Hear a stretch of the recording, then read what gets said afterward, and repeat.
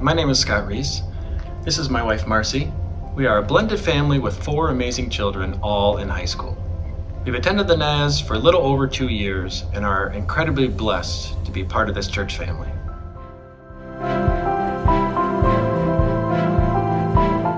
Our men's leadership team was looking for ways to evolve our ministry.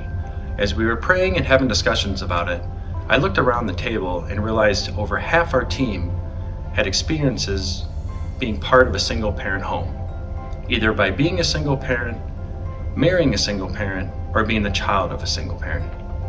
God pressed on our hearts a need that exists not only in our community, but in every area of our church.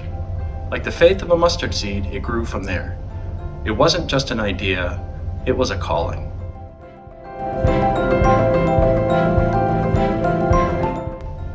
After unexpectedly becoming a single mom, I found myself with full custody, raising two highly energetic and amazing children aged two and four.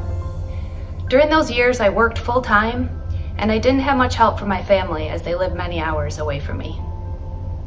My time as a single parent was relatively short and my family was close, but I still struggled providing the emotional support my children needed during a very traumatic time in their lives.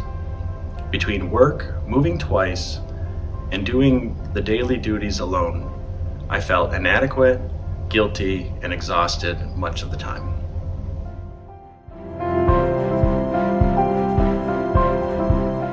I was run ragged just trying to keep up with the necessities of life.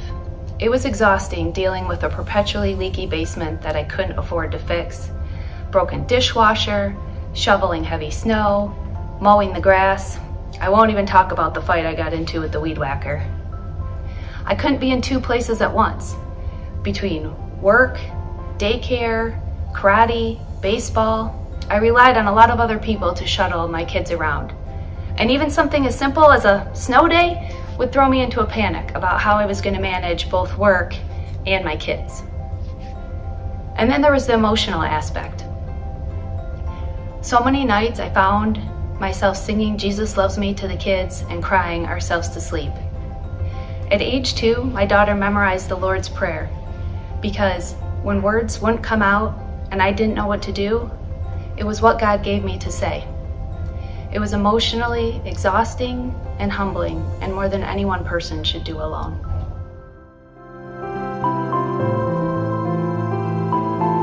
The church I was attending at the time became like family to me. They helped me in so many ways, including with gas, groceries, home repairs, watching the kids. And while on Christmas morning, they even gave me a gift to put under the tree so the kids wouldn't think that I was on the naughty list that year.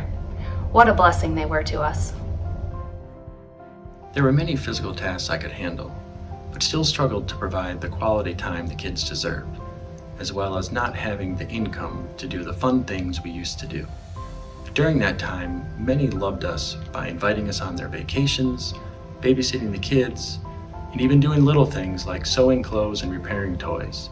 Those things meant so much to us, and I will cherish them forever.